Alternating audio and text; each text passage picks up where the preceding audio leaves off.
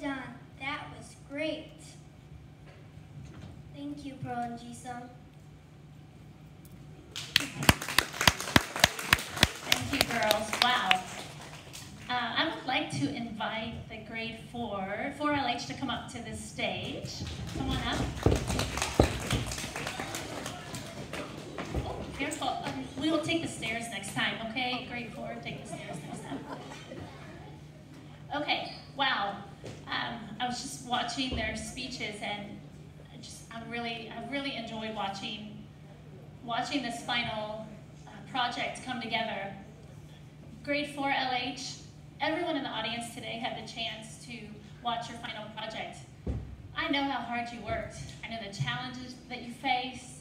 I know how we stretched your thinking in so many different ways. And I'm so very proud of you. I know how much fun we had through it all.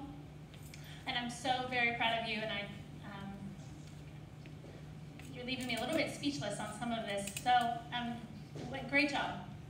Uh, to our audience, thank you so much for coming. We hope that you learned a little bit, and we hope that we persuaded you to make some healthier and better choices in your life. In, in grade four, we've also learned a little bit about research and citing our sources. So on the next slide, we have a list of the sources. We made a list together of all the sources that we've used throughout the entire unit. Um, so that's what that list is there. Um, let's see. Oh, and on behalf of grade 4 LH, we would like to thank some people that have really helped us from the very beginning of the unit. And some of those people are Miss Howe, our EAL teacher. Thank you for everything that you've done. Mr. Dave, helping us with the tech. Uh, Mr. Tan and Mr. Witt in the back, helping us with the auditorium and making sure that everything goes flawlessly. Um, our TAs, especially Miss Zhao, thank you so much for helping us every day and all the hard work that you do. And our grade four teachers, we really appreciate all the hard work that our teachers have done for us. Uh, in the beginning of the unit, we had three uh, faculty members come and show the students what it'll be like to be on stage, and they actually did a mini G4 talk, and that was Dr. Keller, Dr. Norkalunas, and Ms. Fox.